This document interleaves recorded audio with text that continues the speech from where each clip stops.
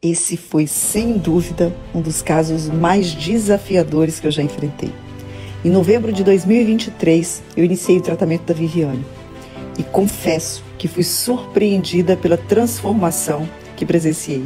Comecei com Line Skin contendo fenol em sua forma e finalizei com Line Skin livre de fenol, que superou todas as minhas expectativas. Hoje a Viviane tem uma pele tão regenerada que maquiagem e filtro se tornaram desnecessários.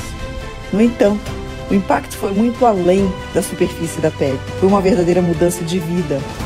Acompanhei de perto a transformação na autoestima e no comportamento da Viviane. E isso é o que mais me enche de orgulho.